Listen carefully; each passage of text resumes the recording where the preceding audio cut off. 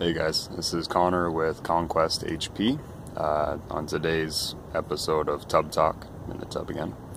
Um, I just want to reflect on the benching that I did yesterday, bench pressing I did yesterday.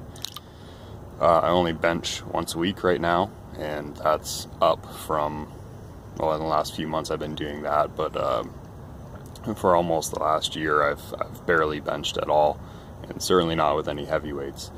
Uh, just kind of as an, an experiment uh, to see if I really needed the bench to keep my pressing strength high, or if I could kind of keep my pressing strength and my bench strength high without doing the bench.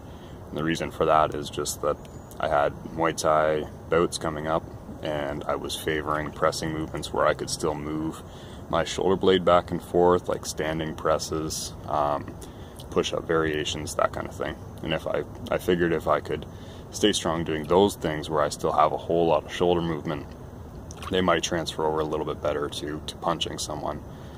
Um, so just recently I've gotten back into trying to play around with some heavier weights on the bench. Um, technique is similar to what it used to be, obviously, because I haven't been working on it.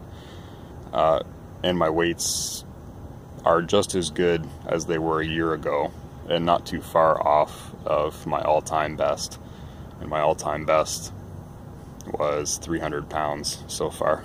Um, but I did that at like 205 pounds body weight. I'm only about 185 right now. So, long story short, um, if the bench doesn't agree with you for some anatomical reason, or it hurts something, or you don't have to do it specifically in a competition, uh, you don't have to feel pressured to work it into your routine. Just work on on a movement that works for you.